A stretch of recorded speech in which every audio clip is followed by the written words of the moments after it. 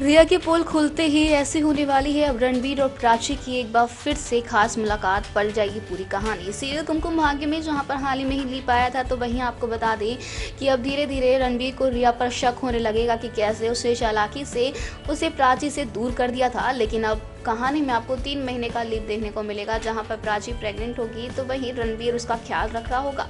तो उसी के साथ आपको बता दें कि रिया का भी चैप्टर अब क्लोज होता हुआ नज़र आने वाला है, क्योंकि रिया का सच आ जाएगा रणबीर के सामने कि कैसे उसने पल्लवी के साथ मिलकर इतना बड़ा धोखा दिया और धोखे से शादी भी की। लेकिन अब देखना इंटरेस्टिंग होने वाला है कि सचमुच में सब कुछ ठीक हो चुका है रणबीर और प्राची के बीच में, या फिर ये सिर्फ़ एक सपना होने वाला है प्राची का। क्या होगा कहानी में देखना होगा, ये आने वाले एपिसोड में बेहद इंटरेस्टिंग